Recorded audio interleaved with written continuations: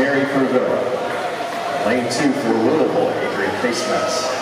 Lane three for Notre Dame, Sarah Bender. Lane four for Louisville, Emily Herkel. Lane five for Notre Dame, Ellie June.